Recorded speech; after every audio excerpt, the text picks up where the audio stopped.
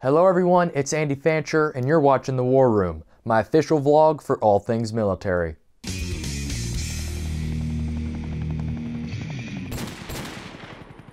Over the course of my World War II project, I have been given some pretty incredible artifacts, many of which on display in my war room.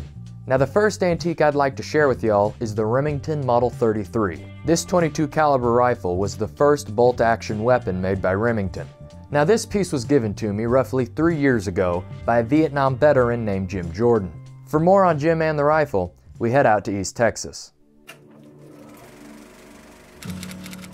Okay, I'm Jim Jordan. I joined the Navy in 1962, became a uh, U.S. Naval Communications Technician and a cryptographer uh, honorably discharged in 1968. During the Vietnam War, Jim was stationed out of Lemoore, California. While here, he handled top secret information for various war groups.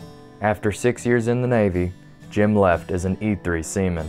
And this is an old 22 that I've had for a long, long time, and I got I came by it by another guy that thought I needed one when I was a young man.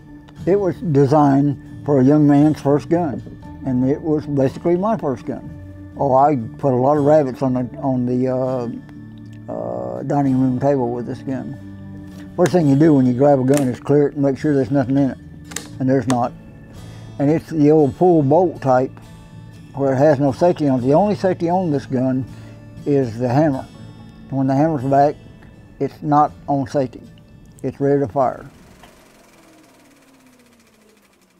So there you have it, the Remington Model 33. For more stories like this, subscribe to my YouTube channel and follow me on Instagram and Twitter at Real Andy Fancher. Thanks for watching. See y'all next time. Contribute to this project on my Patreon and GoFundMe.